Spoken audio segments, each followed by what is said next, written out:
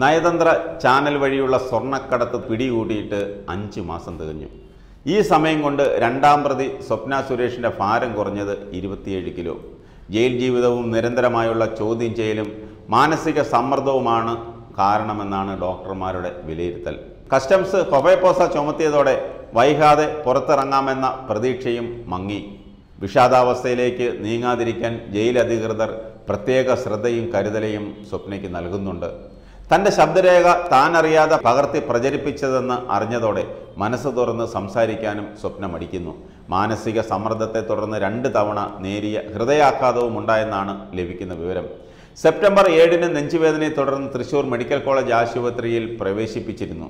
അട്ടക്കുളങ്ങര ജയിലിൽ ആയിരിക്കുമ്പോഴും ആശുപത്രിയിൽ എത്തിച്ചുവെന്നാണ് അറിയുന്നത്. ജൂലൈ പതിനൊന്നിനാണ് നാലാം പ്രതി സന്ദീപ് നായർക്കൊപ്പം സ്വപ്നയെ കസ്റ്റംസ് ബംഗളൂരിൽ നിന്നും പിടികൂടിയത്. കാക്കനാട് വിയ്യൂർ വനിതാ ജയിലുകളിൽ കഴിഞ്ഞ സ്വപ്ന ഇപ്പോൾ അട്ടക്കുളങ്ങര ജയിലിലാണ്. ആഡംബര ജീവിതം നയിച്ച സ്വപ്ന ജയിൽ ഭക്ഷണം കഴിക്കാൻ ആദ്യം തയ്യാറായിരുന്നില്ല. പിന്നെ പിന്നെ അല്പാൽപം കഴിച്ചു തുടങ്ങി. കേസിൽ പെട്ടതോടെ സാമ്പത്തികമായി തകർന്നു. അക്കൗണ്ടുകൾ മരവിപ്പിച്ചു.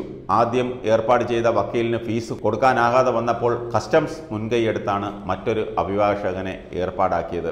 ആദ്യം അഭിഭാഷകനായിരുന്ന അഡ്വക്കേറ്റ് ജിയോ പോൾ വക്കാലത്തൊഴിഞ്ഞത് വ്യക്തിപരമായ കാരണങ്ങളാണെന്നാണ് സൂചന. അറസ്റ്റിലായതോടെ ഭർത്താവിന്റെ ടെക്നോ പാർക്കിലെ ഐ ടി ജോലി നഷ്ടപ്പെട്ടു. കുട്ടികളുടെ പഠനത്തിനും കേസ് നടത്തിപ്പിനും പണമില്ലാതായി. കേസിൽ പെടുന്നതിന് മുമ്പ് തന്നെ സ്കൂൾ ഫീസ് പലവട്ടം മുടങ്ങിയിരുന്നു. ലോക്കറിലെ പണം തന്റേതായിരുന്നുവെങ്കിൽ ഇത് വരുമായിരുന്നോ എന്നാണ് സ്വപ്നയുടെ ചോദ്യം. സ്വർണക്കടത്തിന്റെ മുഖ്യ സൂത്രധാരകൻ ശിവശങ്കറാണെന്നും രണ്ടായിരത്തി പത്തൊമ്പത് ഏപ്രിൽ നയതന്ത്ര ബാഗേജ് വിട്ടുകൊടുക്കാൻ ശിവശങ്കർ ഇടപെട്ടെന്നുമുള്ള ഇ ഡിയുടെ കണ്ടെത്തലും സ്വപ്നയുടെ ഈ മൊഴിയുടെ അടിസ്ഥാനത്തിലാണ്. സ്വപ്നയും ശിവശങ്കറിന്റെ ചാർട്ടേഡ് അക്കൗണ്ടന്റിന്റെയും സംയുക്ത ലോക്കറിൽ സൂക്ഷിച്ചിരുന്ന ഒരു കോടി രൂപ ശിവശങ്കറിന്റേതാണെന്ന് ഇ ഡി ആവർത്തിച്ചു.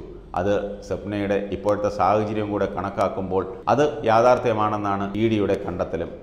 കഫേ പോസെ തടവുകാരിയായതിനാൽ സ്വപ്നയ്ക്ക് ബുധനാഴ്ച മാത്രമാണ് ഫോൺ വിളിക്കാനും ബന്ധുക്കളെ കാണാനും അനുമതി നൽകിയിട്ടുള്ളത്. അതേസമയം സ്വപ്ന സുരേഷിനെ നിയമിക്കാനുള്ള ശുപാർശ എത്തിയത് സർക്കാരിൽ നിന്ന് തന്നെയാണെന്ന് പ്രൈസ് വാട്ടർ ഹൗസ് കൂപ്പേഴ്സ് വെളിപ്പെടുത്തി. സ്വപ്നയെ നിയമിച്ചതിന്റെ പഴി പി ഡബ്ല്യു സിയുടെ ചുമലിൽ വച്ചൊഴിയാൻ ശ്രമിച്ച സർക്കാരിനെ പ്രതിസന്ധിയിലാക്കുന്നതാണ് ഈ വാദം. വിജിലൻസ് മൊഴിയെടുക്കുമ്പോഴും പി ഡബ്ല്യു സി ഈ വാദമുയർത്തിയാൽ പ്രതിക്കൂട്ടിലാകുന്നത് സർക്കാരാണ്. മിക്ക പ്രധാന പദ്ധതികളിലെയും കൺസൾട്ടന്റായ രാജ്യാന്തര സ്ഥാപനം സർക്കാരിനെതിരെ പോർമുഖം തുറക്കുന്നതും സംസ്ഥാന ചരിത്രത്തിൽ ആദ്യമാവും.